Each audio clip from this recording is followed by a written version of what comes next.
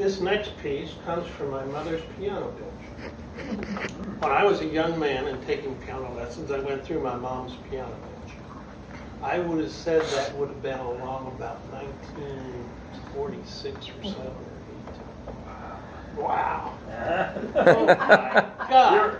You're, And um, I, I picked out this piece. It was on March, uh, Grand Capital March by Clayton or something. And uh, didn't work out real well, so I put it back in the bench. And I forgot about it until about 1966 when I was in the Air Force in Albany, Georgia, and I was playing a program. And uh, I thought about that March, and so I went and uh, tried to get it ordered. And uh, I, I did two or three orders, and I never got the right number. So I forgot about it again. And then in uh, oh, mid 90s or so, I was going through my mom's stuff and uh, went to the piano bench, and sure enough, there it was. So I'm going to play it for you.